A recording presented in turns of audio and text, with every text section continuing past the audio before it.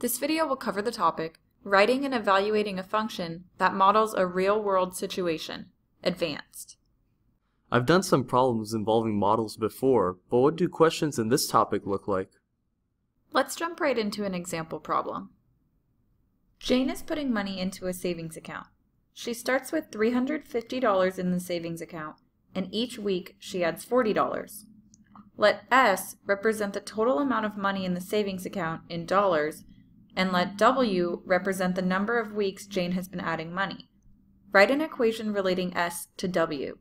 Then use this equation to find the total amount of money in the savings account after 14 weeks. That's a lot of information. How do we make sense of it all? We see that S represents the total amount of money in the savings account. Since our goal is to find the total amount of money in the savings account after 14 weeks, we will want to solve for S, so we write S by itself on the left side of our equation. We also know that Jane starts with $350 in the savings account. This means that no matter how many weeks has gone by, she has at least her initial amount of $350 plus the money that she adds each week.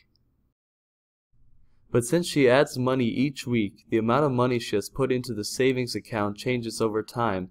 How do we represent that in our equation?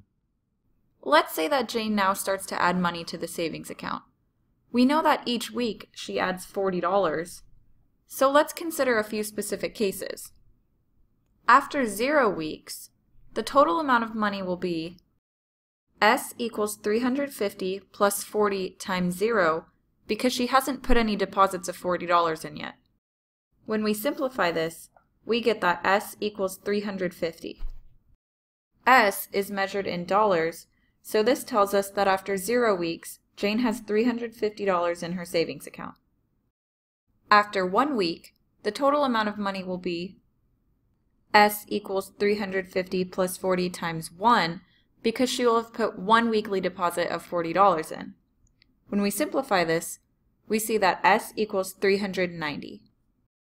After two weeks, the total amount of money will be S equals 350 plus 40 times 2 because she will have put two weekly deposits of $40 in, and this equals 430. After five weeks, the total amount of money will be S equals 350 plus 40 times 5 because she will have put five weekly deposits of $40 in, and this equals 550. These examples can help us find the total amount of money in Jane's savings account after W weeks. Looking at these cases, we can see that after W weeks, the total amount of money will be S equals 350 plus 40W. To find the total amount of money after 14 weeks, we set W equal to 14. So after 14 weeks, the total amount of money will be S equals 350 plus 40 times 14, and when we simplify this, we get S equals 910.